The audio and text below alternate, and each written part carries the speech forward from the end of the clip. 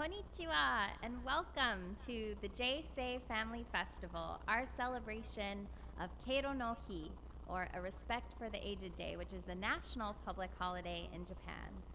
For the last 10 years, J-Sei Family Festival has honored and celebrated the seniors in our community through food, music, and art. It's a little different this year, but we're very glad that you can join us online to continue the tradition.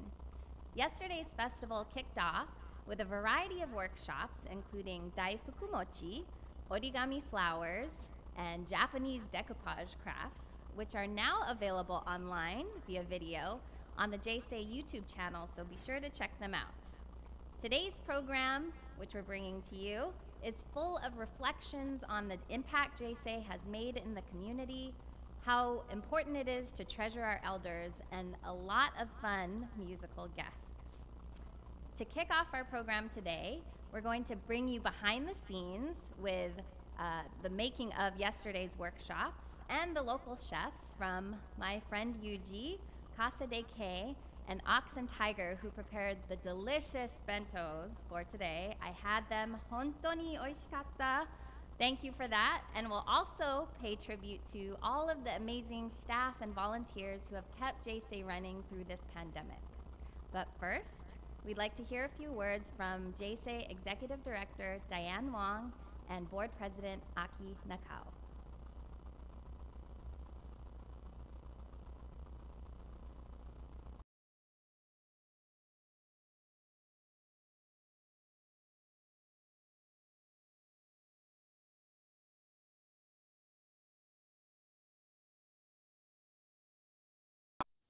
Hi, I'm Diane Wong, Executive Director for J-Sei. Thanks to all of you for joining us for our two-day celebration of our family festival.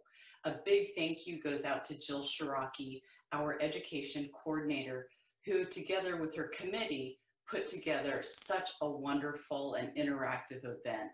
Thanks to all of you. We wanted to introduce you to our great board president, Aki Nakao. Aki, I wanted to ask you, in celebrating Keiro no Hi, is there any special saying or practice, cultural teaching that your elders passed on to you that you wanted to share with us today?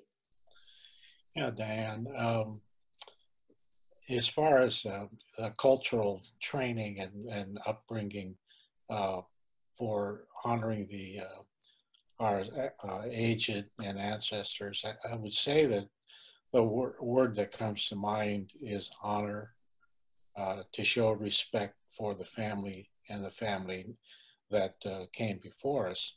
And I think a, a, lot of the times what I saw as, as I was uh, growing up was with both of my sets of grandparents from both sides that they uh, clearly uh, demonstrated respect for their elders, even though they were, uh, you know, away in Japan. They were they were Issei, and uh, their elders were in Japan, and they continually maintained contact with them and did many things for them, and particularly since uh, I was a product after the war, saw them sacrifice a lot here in order to be able to support the families that remained uh, in Japan and trying to recover from the devastations of the war. A day like today and a way to uh, honor and respect our, our elders certainly is a, a, a way to uh, celebrate uh, people who came before us. And uh, just a, a, bit in closing, I'd like to, to uh, also extend my thanks and uh, respect to those that put this production on today. I know it's not traditional. It's uh, very unconventional for a number of us. And even all the, all the years that uh, I've lived, I've never seen such a situation as we're in today. But what's amazing to me is that this organization that I'm privileged to lead has been uh, very good at adapting to the daily uh, or to the changes that we're having to make in order to be able to continue to provide the programming that would uh, keep our membership uh, active and engaged, and also to provide uh, healthy meals. You know, it's really a team effort between the volunteers, the board, the staff. I mean, it really takes all of us to get through these moments together. Uh, and I know this way of celebrating Family Festival isn't ideal, and we look forward to next year when we can be together again. But meanwhile, you know, please remember we have so many classes and activities and events that, you know, you just have to check our website uh, to join in and participate, to be with us. So uh, thank you so much again for being with us for these two days and being such wonderful J-Sei community members. Take care.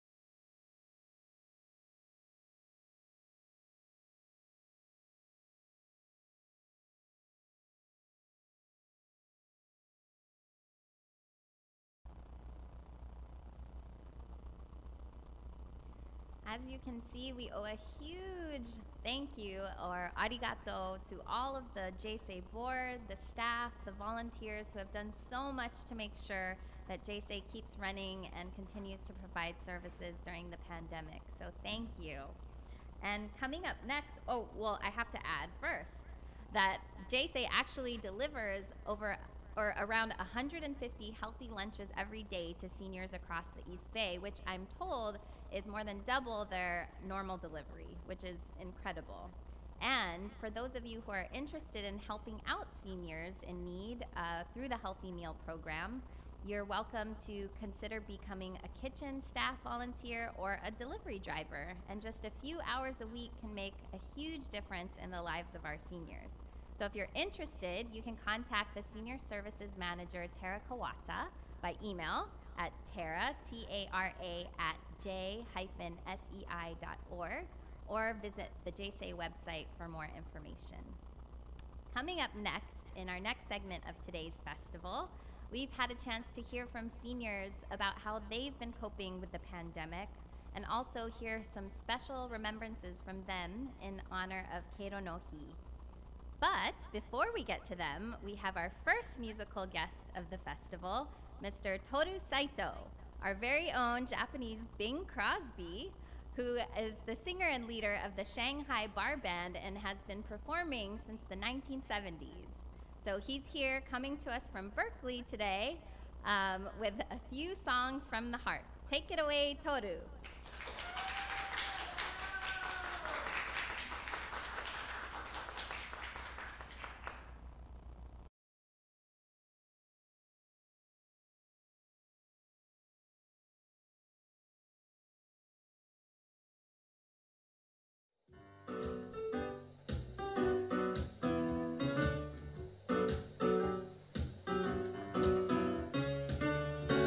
Take you back to 1937 when it seems we stood and talked like this before. We looked at each other in the same way then, but I can't remember where or when.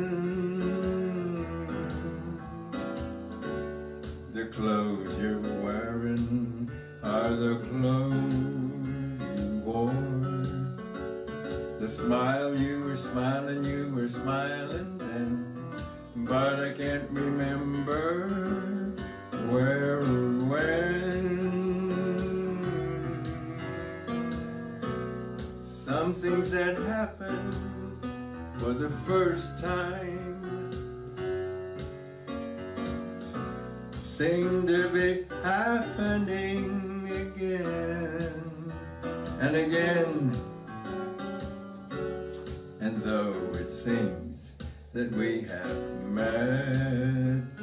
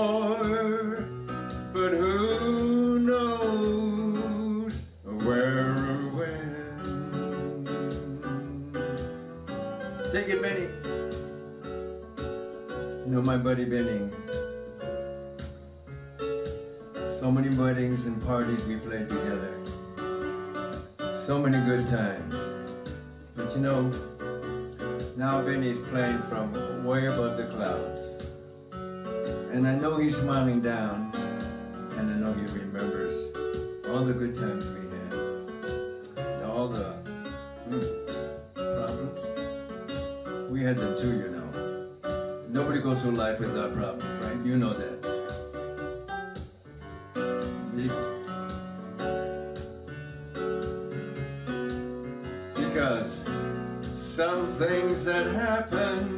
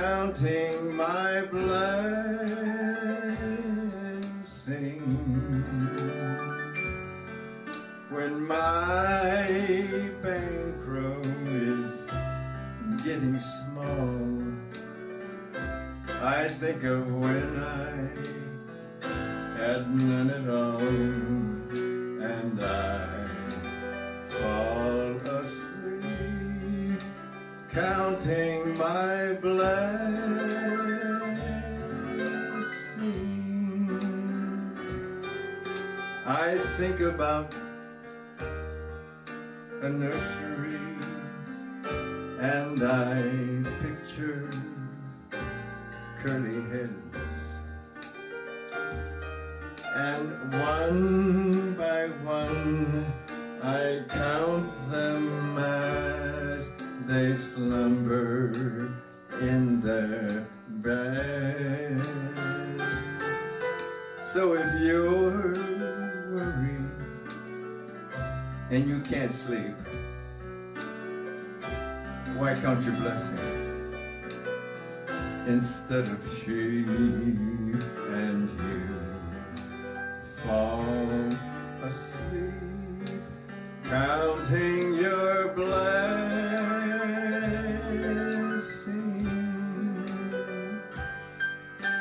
I think about a nursery and I picture curly heads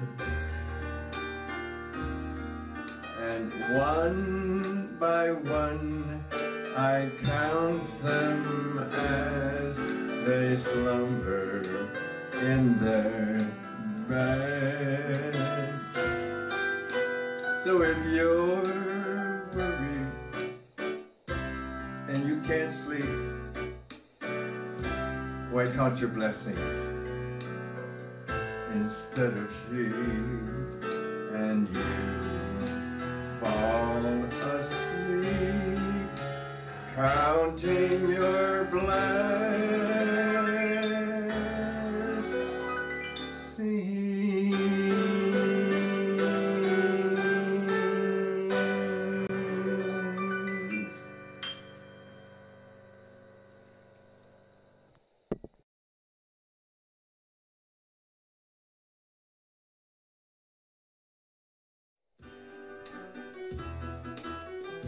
Nineteen fifty-two, Karen Chandler.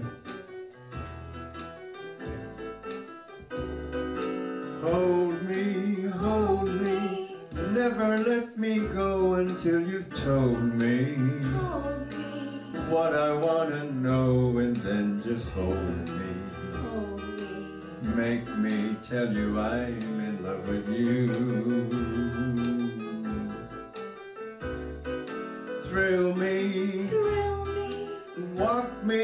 The lanes where shadows will be. will be, Hiding lovers just the same as we'll be. will be. When you make me tell you I love you. They told me, be sensible with your new love. Don't be fooled to think this is the last you'll find. But they never stood in the dark with you, love. Oh, when you take me in your arms and drive me slowly out of my mind, kiss me. Kiss me, And when you do, I know that you will miss me. kiss me, If we ever say adieu, so kiss me. kiss me. Make me tell you I'm in love with you.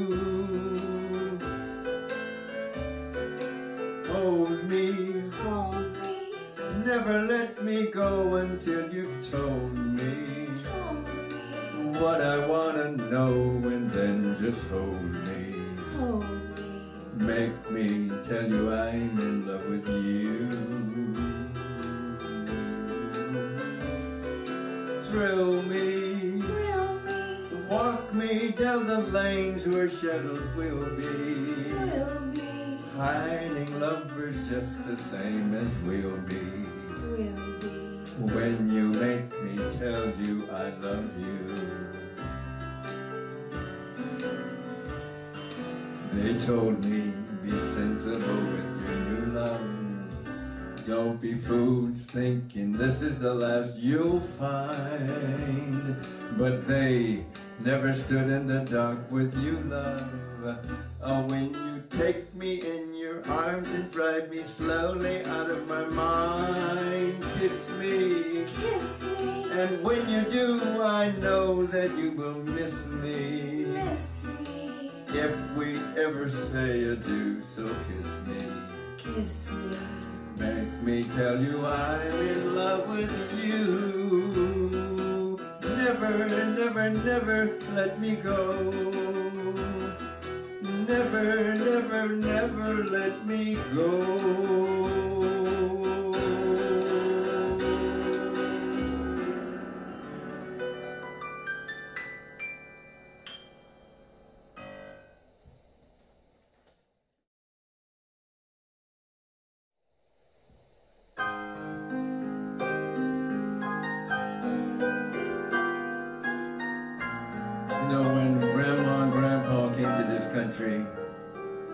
What they said with these hands. I will cling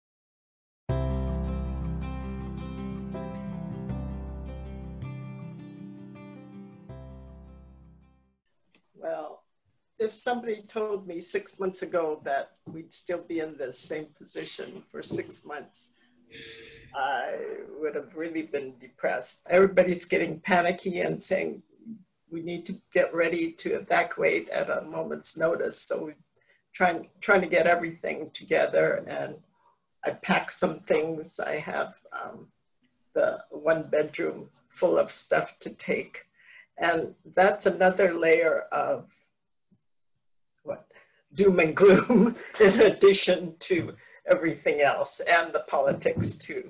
Um, I just am tired of it.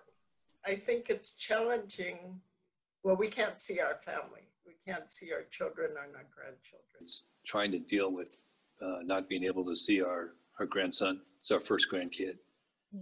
And we were all ready, my wife and I were all ready to be the doting grandparents whose only job was to spoil our grandkid. Mhm. And since we can't see him, especially since he started uh, back in daycare, we were able to spend a month with him when before he started back because he wasn't being exposed to other kids so Mhm. it was safe for us to be around him but now my daughter's worried about him exposing us Right. to the coronavirus so First, it was, of course, difficult, but I started to sort of enjoy this pause. Um, and of course, since this spring, there have been a lot of things to think about with the pandemic going and the issue of racial justice, you know, to the front. So I appreciated having this time to sort of think. And, and I thought it was good. And also, I really started to appreciate things I still had and things I could still do. Um, is there anything you think younger people can do to help you guys during this time? Well, we have some younger neighbors who have been shopping for us, and that's been a lifesaver. Uh, we really appreciate that.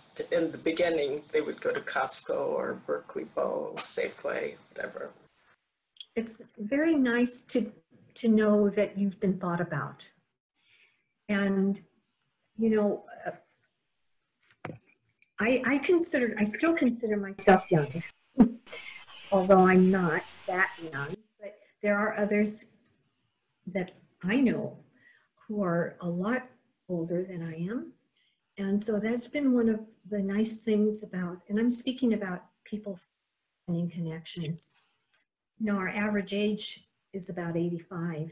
And um, so being able to contact them as a younger person, and, and I know they appreciate it, uh, being um, checked in on, um, just, just staying connected because it's terrible thing to be isolated. And I appreciate this today, even Mia, that um, you know, J-Sei is considering considering all that, staying in contact with their elders. It makes a, a huge difference, huge difference.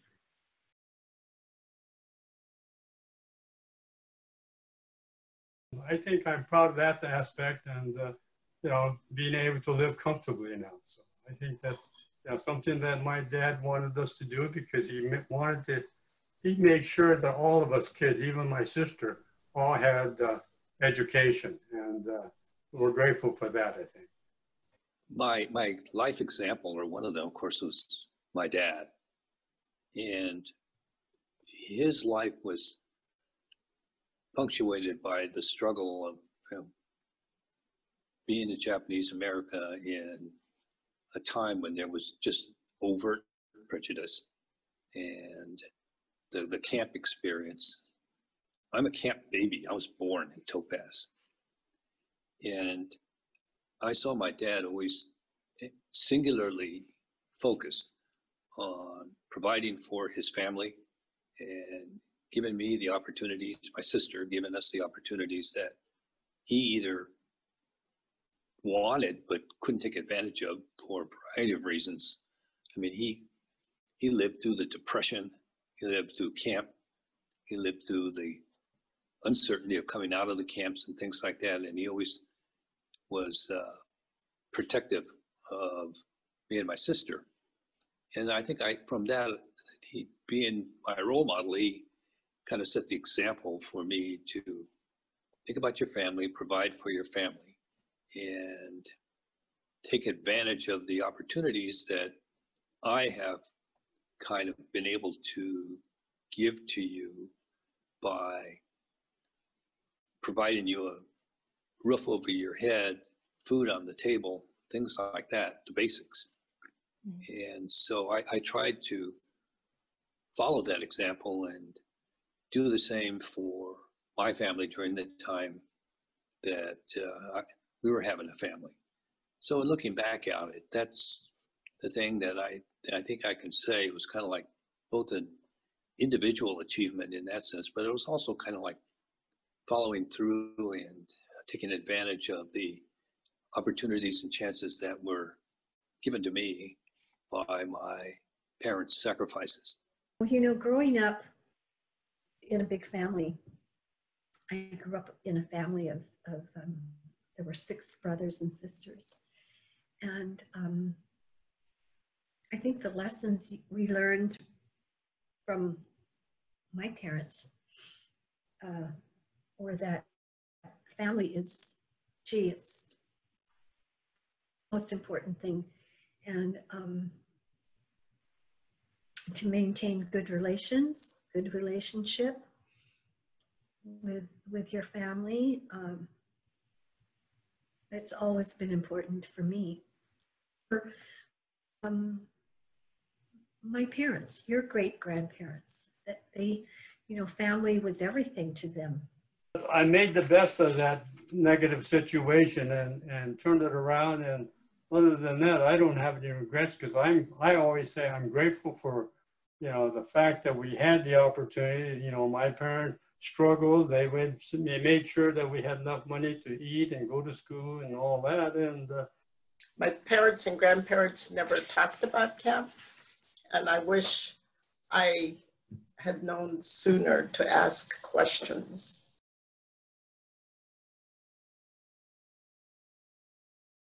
My advice is, well, when I was growing up and older, I kept thinking, when I get rich, I'll be happy. Or when I have uh, home, I'll be happy, or when I get married, I'll be happy. So I'm always chasing the happiness. But I think as I've gotten older, it's being grateful for what you have. So every day, um, um, keeping or just listing, um, writing or mentally going over what you're grateful for this period of shelter in place made me realize that the most important things are my life and my connection with people I love. And for example, that I'm very proud of the partnership with Chuck, my husband, uh, which has been going on for the past 33 years.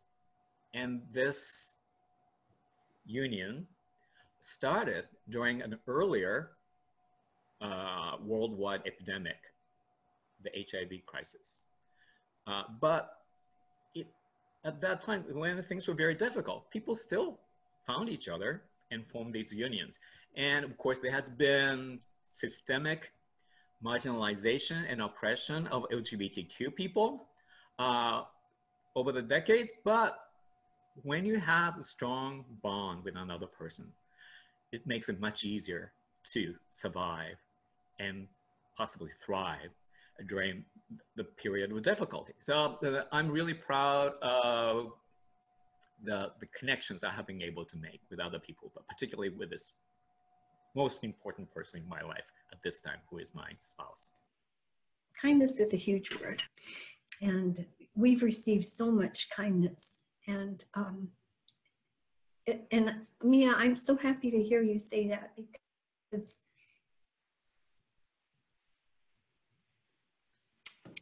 that's what makes the world go round for me, you know, being kind and being thoughtful and and generous in in um, thought and what what you can do for people.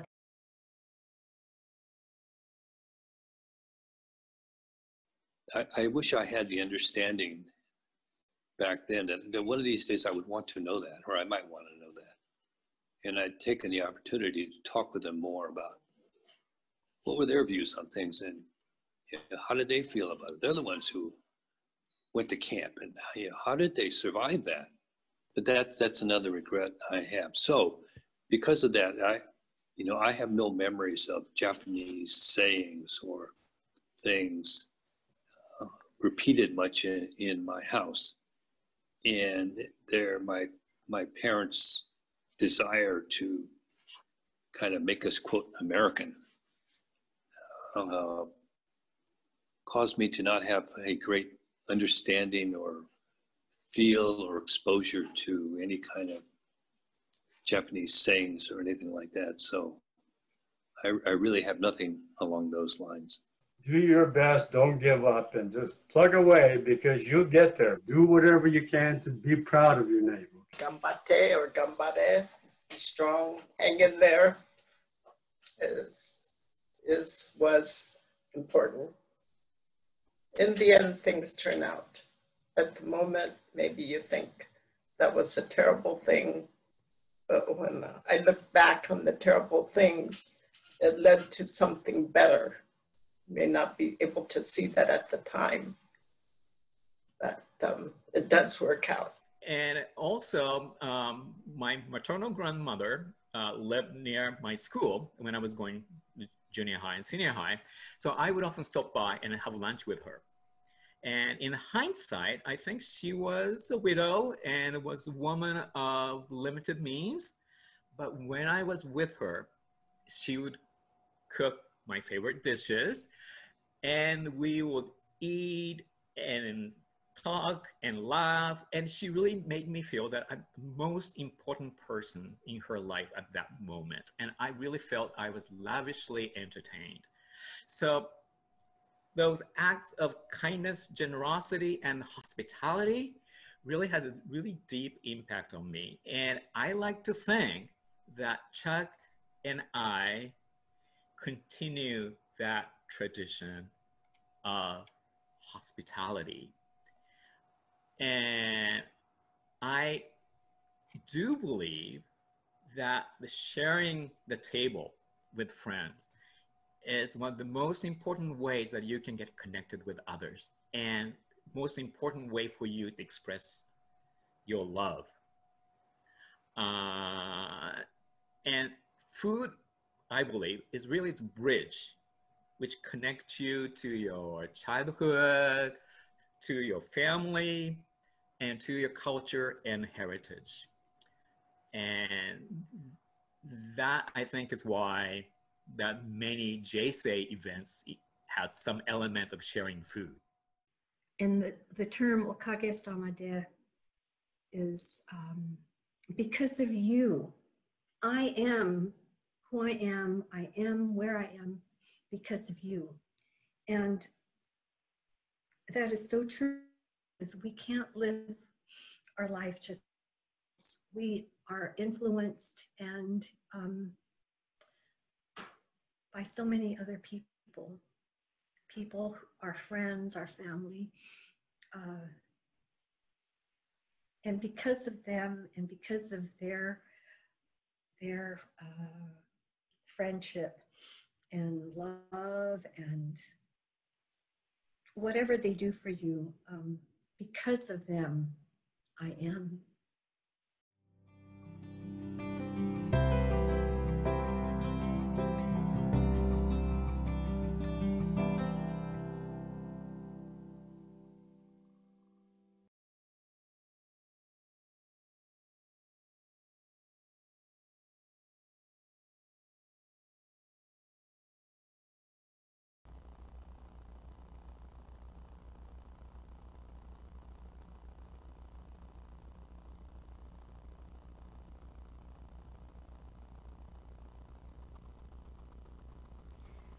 We thank everyone for sharing their experiences and thoughts, and a special thank you to Saito san for our songbird for sharing those beautiful, heartfelt tunes. I know I was swaying to side to side. That was really special.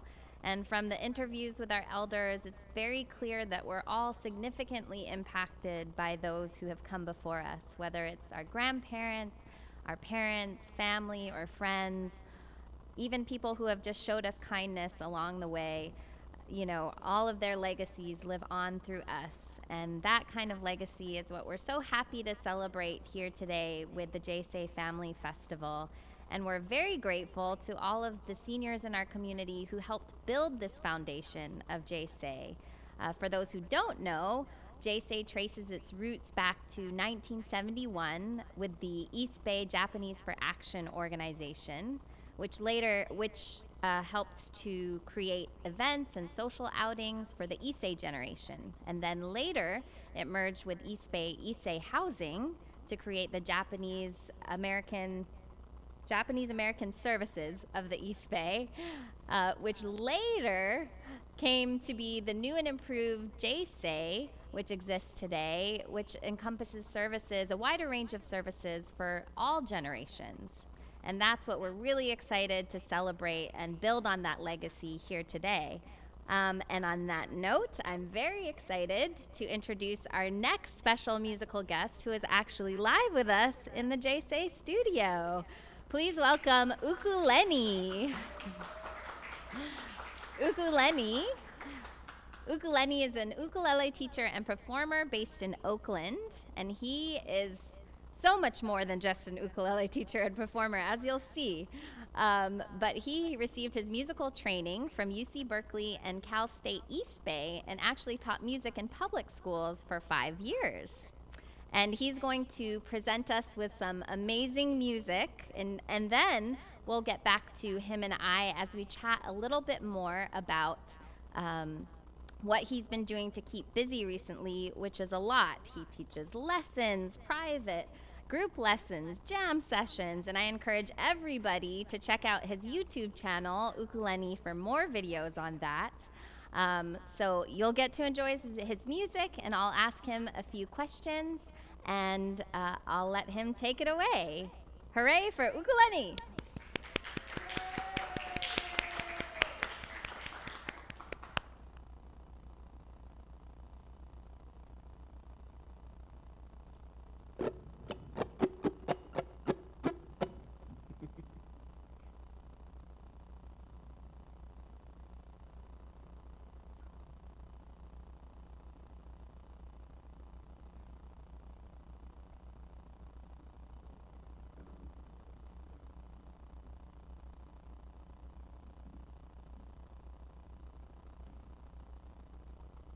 All right. Well, Lauren, thank you so much for that wonderful introduction. You're talking me up too much. I think uh, it's going to be hard to follow that introduction, uh, but I'll do my best. Thank you, everybody, uh, J-Sei community, uh, for having me here. Thank you, Jill, for inviting me here to play, and of course, Dan, our executive director here. Um, I've been doing the family festival on and off for the probably the past three or four years, and it has always been a delight of mine to come out to uh, Albany, California, to uh, to do the family festival. So I was surprised when I got the email a couple days ago. I almost went to Albany to do this performance, but luckily I am here in beautiful Emeryville. I can't believe this is the first time I've been to this office, and it's just so wonderful to be with everybody here. Uh, it's just so inspiring to to see all the work that these people have done uh, just outside, um, doing the food uh, deliveries and the and the food pickups. Uh, just such amazing stuff. So I wanted to play some music.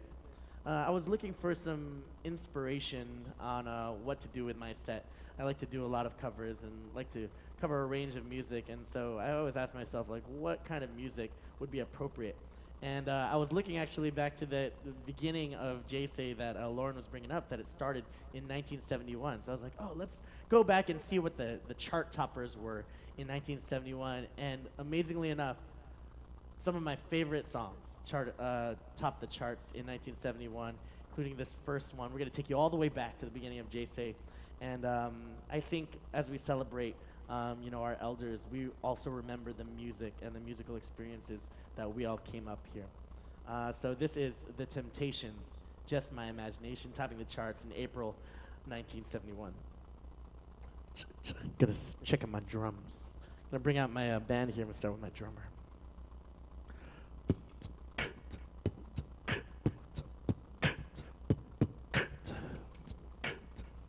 I forgot that bass drum in the beginning. Here it comes. Oh yeah, up next, the mighty bassist playing eight notes at a time.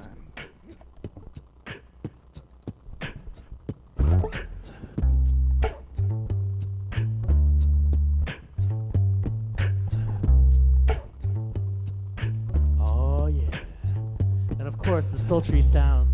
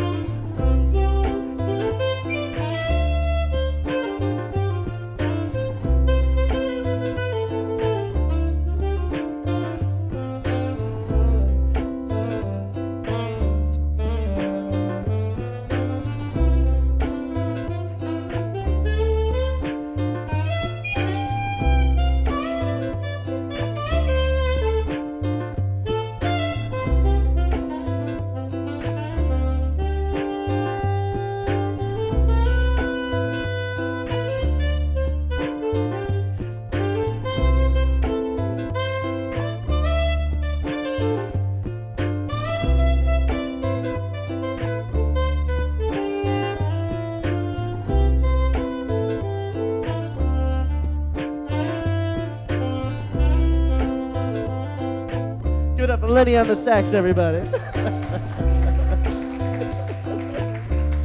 Man, I haven't heard a live crowd in like so long.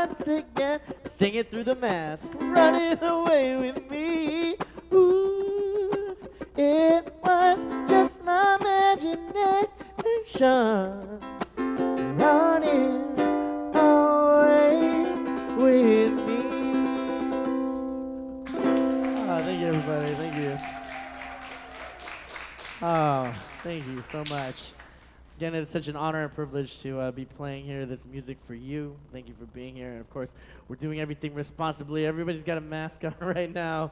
We're out here at, at the J-Sei headquarters, um, you know, doing, doing the music and of course doing the food. And uh, I wanted to do this next song. And I actually played this song just last week on a whim and did not even realize that it topped the charts in 1971. Actually, Carole King wrote this song in 1971 for herself.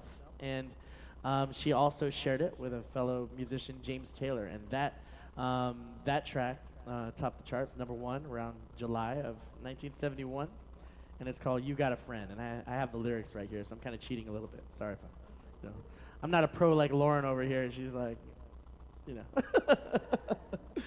um, but uh, this song is really powerful and I think really important. And you all know, I just hearing about everyone delivering this food to all, um, you know, all the seniors who need it just know that even though we can't be there in person, you still have a friend in all of us. Every, everybody, we're all here, community together, and uh, we're here to spread the love, whether or not, pandemic or not. You know, masks, we're gonna wear them, and we're going to uh, continue to spread love, no matter what.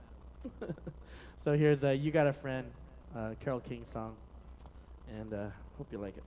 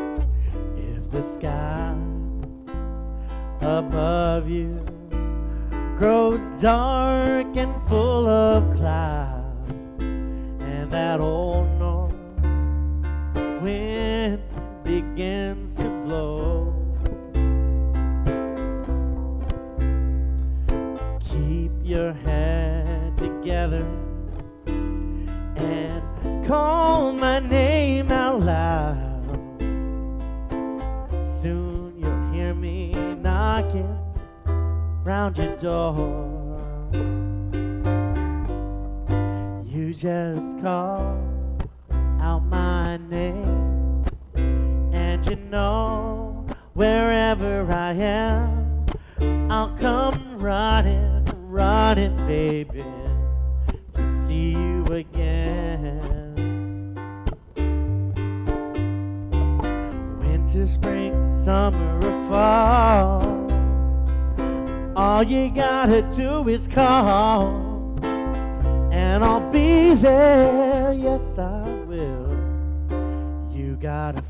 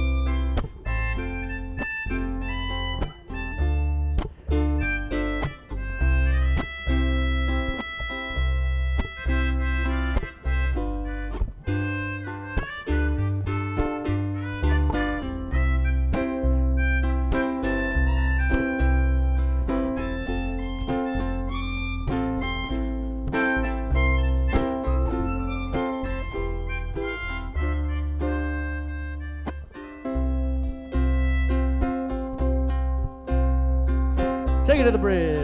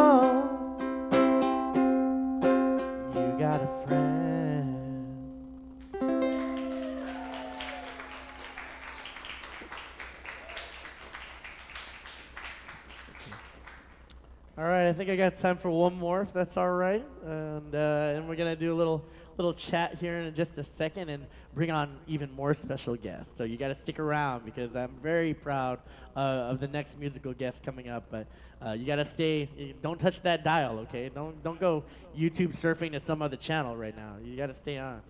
Um, so this song, um, I think, I've been playing this song for a while, and um, I got a full disclosure. I, I, I don't have Japanese heritage. I don't even have Hawaiian heritage. I'm a Filipino American, born and raised in San Diego, California. And I think just as such, it is equally, uh, if not more important, to learn about other people's cultures and to learn about the elders of, of all people because we're all connected. We're, I, know it's cheesy, we're all in this together.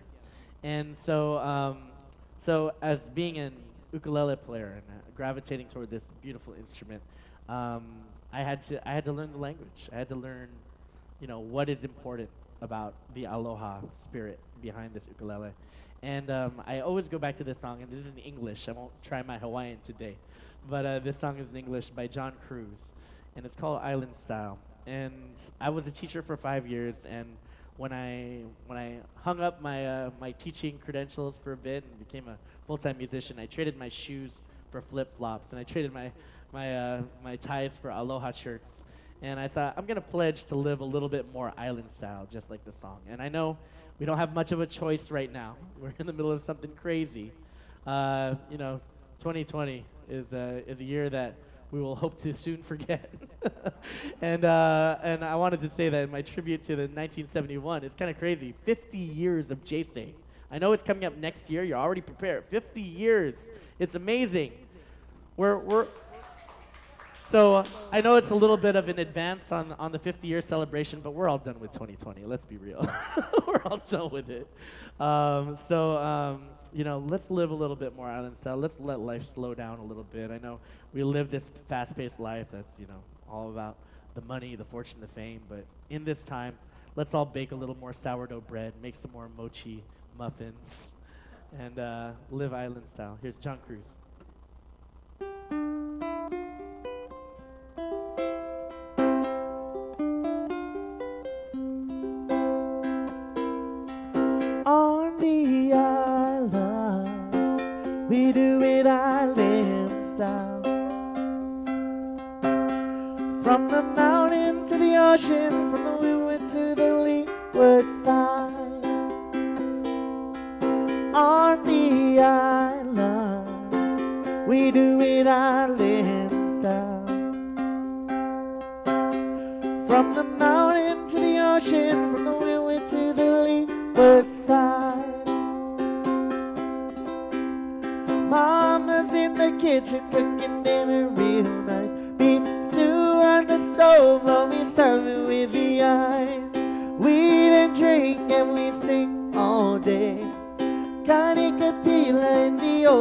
flying way on the island.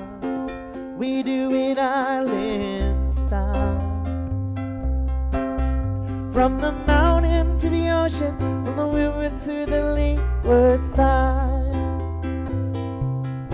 On the island, we do it island style. From the mountain to the ocean, from the river to the leeward side. We go to Grandma's house on the weekend clean yard. If we don't go, Grandma gotta work hard. You know my Grandma, she like the pie real sour. Woo! I love my Grandma every minute, every hour on the island. We do it island.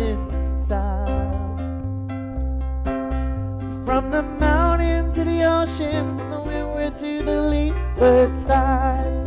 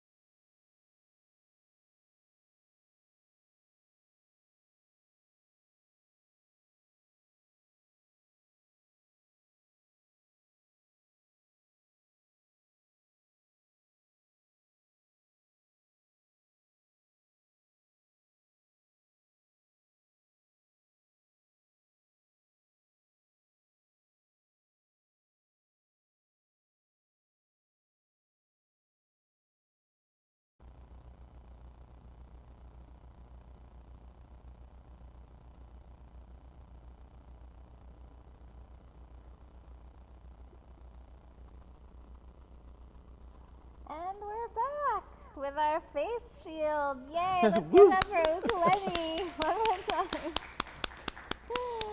That was so beautiful. I didn't expect to feel homesick. I'm originally from Oahu, and so that heart, that song is a very special song in my heart. I heard it all growing up, um, and a very nice way to honor the ukulele. But welcome back, everybody. We're so grateful to have Ukulenny here with us. That was so lovely. I know a few volunteers who are here, masked in the in the distance, were jamming out and really enjoying that because I haven't heard live music in a very long time either. So we really appreciated that, and I'm happy to talk here with you today during very unprecedented circumstances. Um, but I'm so happy that we could bring this all together. And um, first, you know, you are like a Swiss Army knife of a musician. You just keep busting out instruments left and right, which is so cool. Can you tell us a little bit about how you got into the ukulele um, and the amazing performer that you are today? Well, you know, if you can't be good at one, just play all of them.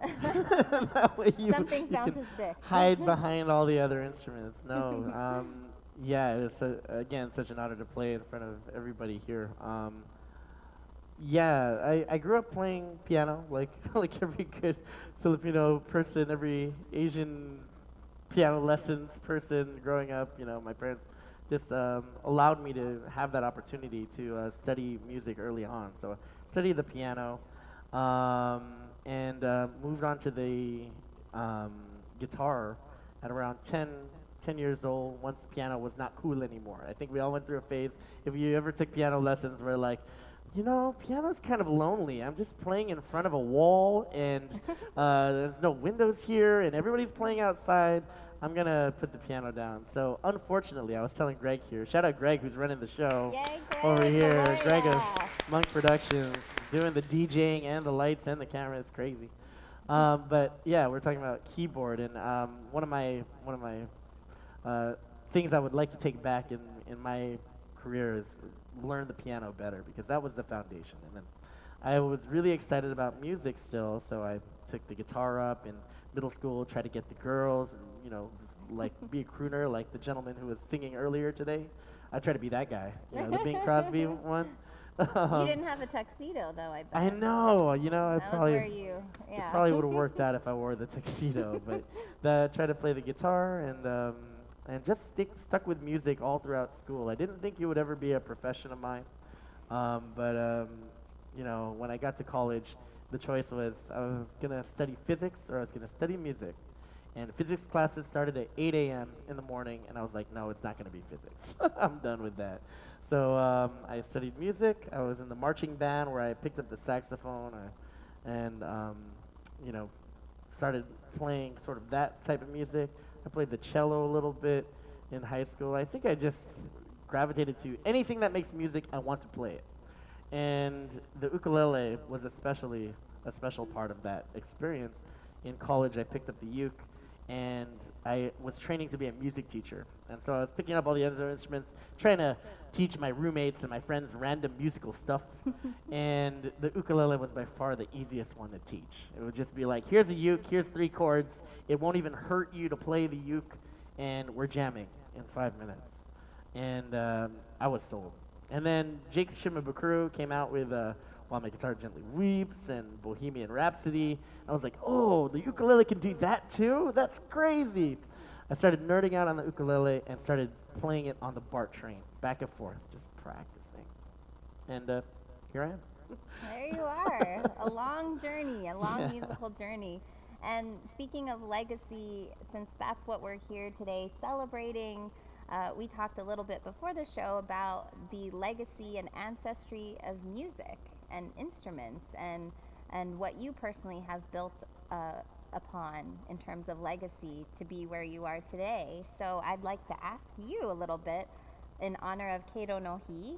Um, what are you reflecting on in terms of the elders uh, that have been in your life, legacy, ancestry? Yeah, I think that's a huge part of it. You know, we are you know, music is such a storied history. The the greats we we have our influences that we grow up with. You know, I, I listened to the Temptations and Stevie Wonder in our household. You know, I was my parents were huge music fans, and I think you asked me like, was there a musical background in our our uh, family? And they didn't play really. They played a little bit of guitar, but they were monsters on the magic mic. they were karaoke, karaoke. That's right. it was huge in our household. So I'd be practicing these duets with my mom and my dad, and um, and that was a big part of it. You know, we'd be performing for the uh, the Christmas program, and everybody would prepare a song and perform. So I think that legacy also kind of exists with my own parents um, just loving music. And I think mm. um, I, I kind of touched on it before, like the musical history of you know every culture is so magical in how um, it connects us all. You know, it connects us to our ancestors. Um, recently, actually, my uh, grandmother passed away last weekend, and um, on my dad's side, and I just have fond memories of going back to the Philippines to visit her, and um, you know, she had already lost her memory. She would actually go up to me and she would say, "Are you, are you Louis?"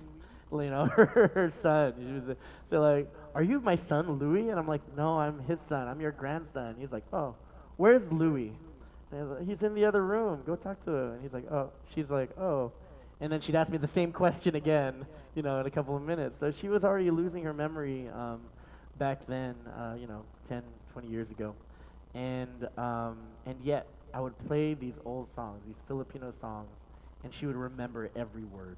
And that to me really spoke to where music, you know, lives in our lives. You know, it's it's so present in everything we do that um, to go back in time and to reach that music and to be able to reach my grandmother through this kind of time capsule. I mean, it's magical. So, um, yeah, I think I think it's really important that we honor the legacy of, of where music has been and where it goes. You know, uh, I play a lot of old tunes. Obviously, my repertoire today was 1971, um, but uh, it it really is that connection that is so vital.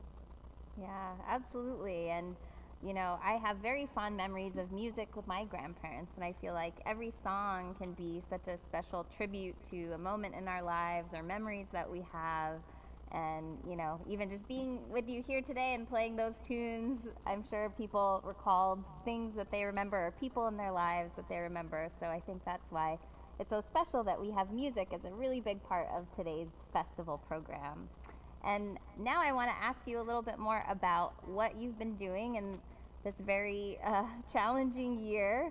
Uh, as a live musician, performer, things certainly changed a lot for you, but you've been keeping very busy. so tell us a little bit about what you've been up to.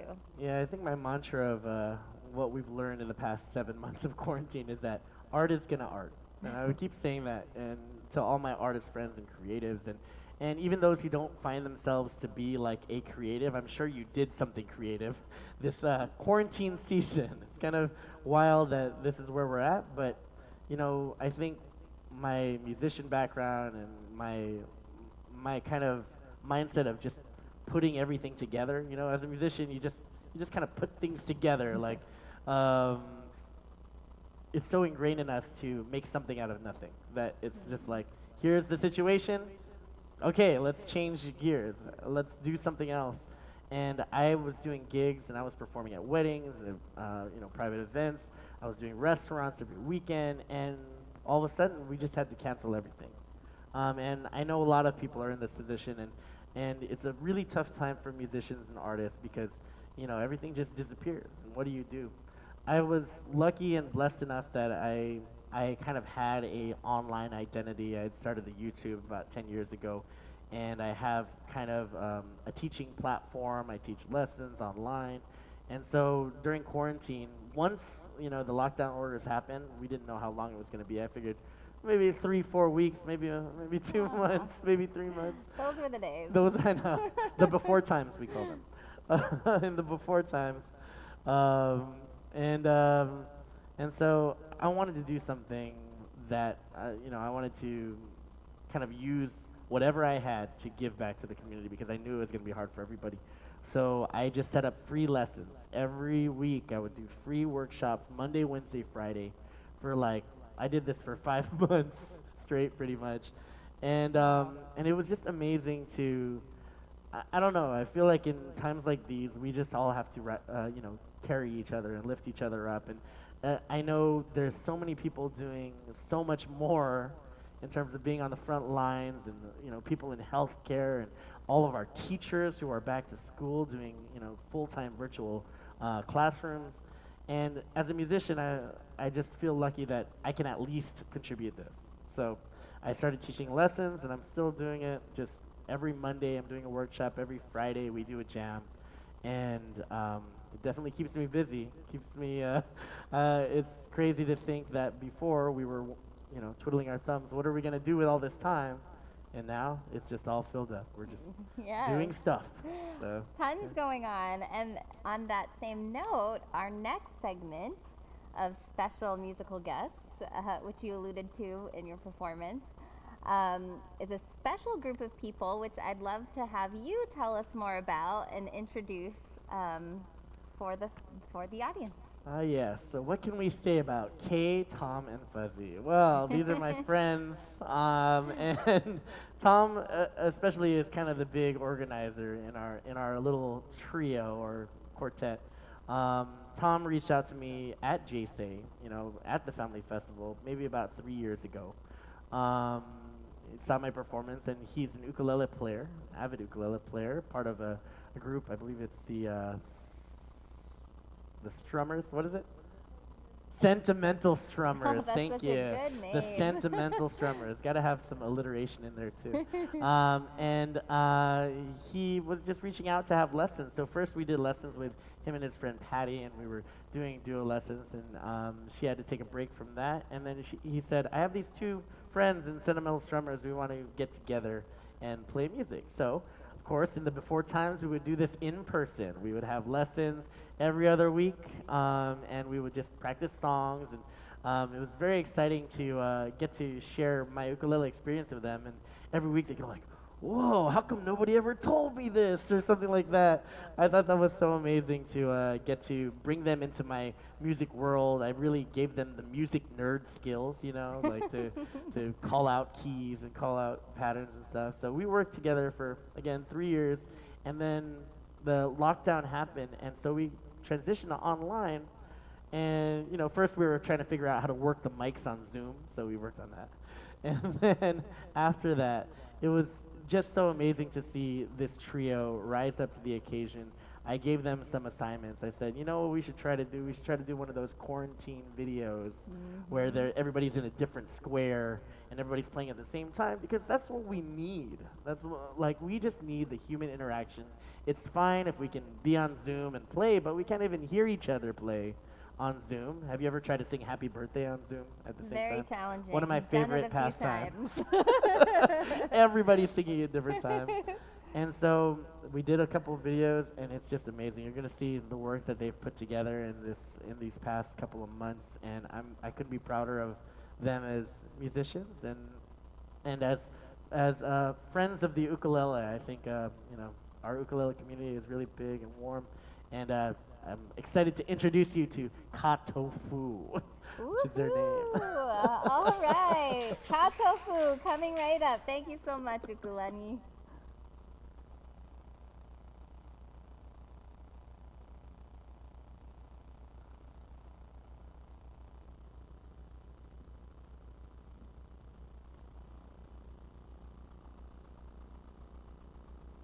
What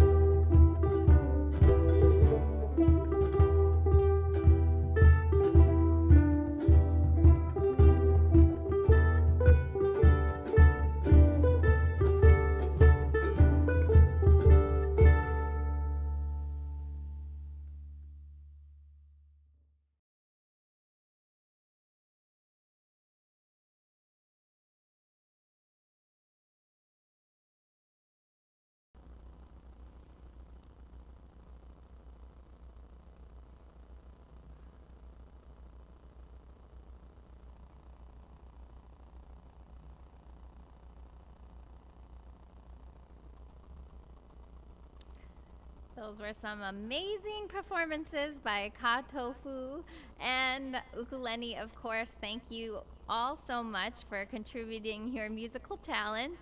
And for those of you who want to see more of Ukulenny, you can visit his website at ukulenny.com. And also, he does a live streaming event every Friday for Aloha Friday on Facebook. So be sure to check those out.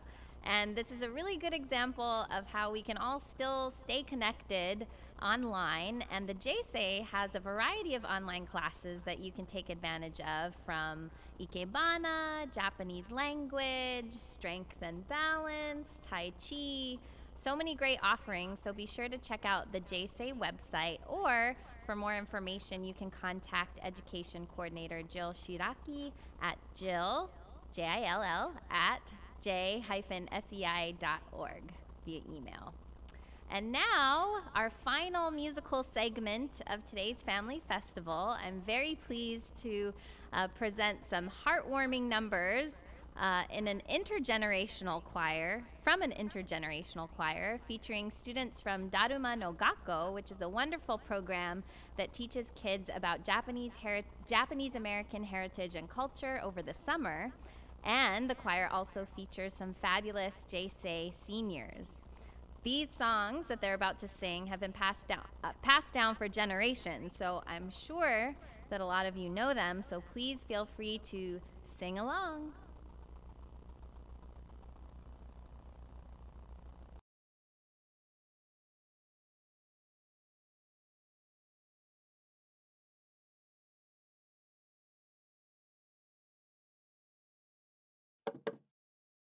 I love doing kendo. I love making Japanese fortune tellers. I love singing Japanese songs. I learned all about Japanese history at Daruma no Gakko. I love seeing my friends. I love assisting and helping all the kids at Daruma no Gakko. I love learning to make tofu. I love making bento boxes. I love making a Daruma doll. No has been around for over 40 years. In our Nikkei summer program, it's been our primary mission to provide our students with a strong sense of positive self-image associated with their Nikkei roots, and also educate them about their Nikkei heritage. During this pandemic, for the first time in our operations, we've had to close our traditional programming, but our annual operating costs still remain. And with much uncertainty about how next summer will be unfolding, we're asking the greater community to consider joining with us to help keep our current programming going for future generations. If you would consider supporting us now, please go to our website and click under fundraising. We appreciate any help that you can lend us. Domo arigatou gozaimasu.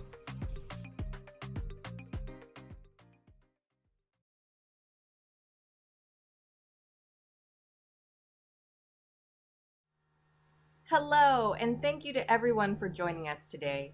My name is Akiko Takashima, a co-director of the Nikkei summer program, Daruma no Gakko. Our summer program has been around for over 40 years, and we are very happy to have one of our founding mothers, Emiko Katsumoto, with us today. She has been one of the lead coordinators in helping to create this musical sing-along program. Emiko-san has been working with both our students as a former music teacher within our program and also with the J-Sei Singers. With that, I will turn it over to Emiko-san to give you a brief intro of the songs that you will be hearing. I have always loved Japanese music and especially Japanese children's songs. I, I feel very privileged to have been able to teach at Daruma for 15 years until I retired last year. For the last few years, uh, Carol Newberger and I have been leading sing sessions with J-Sei singers. And um, for this, we're very grateful to Diane Wong and to Jill Shiraki for making this possible. Um, so I have the continued joy of being able to sing with our senior singers, and I just love to hear their enthusiastic voices twice a month when we get together on Zoom. So it's been a great, great adventure and fun, and uh, very gratifying to sing with the Daruma students on this presentation, and um, we've uh, it's been a great collaborative and um, intergenerational project, and it's really been very fulfilling. I want to thank Akiko Takashima and Andrea Moki for making this possible. They have all the technical know-how to make this happen. So we will sing two songs tonight. The first song is Daruma Sang, which is the school's theme song, and it's traditionally sung um, at the end of the term for its Gakugeikai program. The second is Shiawase Narate o Tatako, which is in English if you're happy and you know it. So that's been a real fun to do with the kids, and uh, we do hand motions too. So um, we hope you'll enjoy this presentation.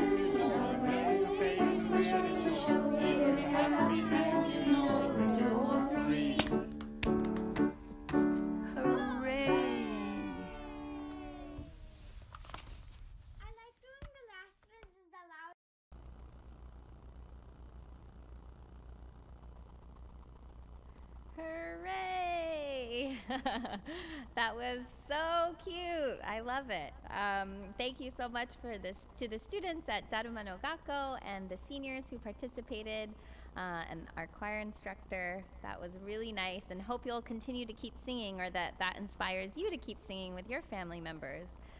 That concludes our program of the J-Sei Family Festival. Thank you so much for tuning in and joining us for this first time online uh, festival.